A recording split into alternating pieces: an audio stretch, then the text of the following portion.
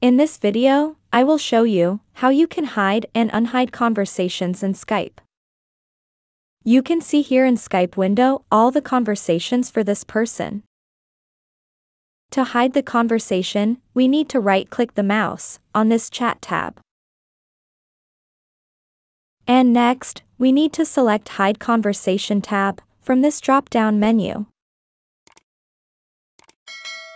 And done, all our chat tab and conversations is hidden.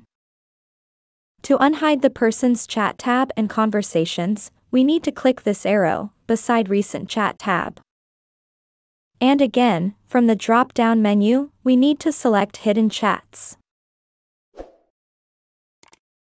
And done, you can see the Chat tab is visible when we click on the Person Chat tab. All our conversation with the person is visible as before.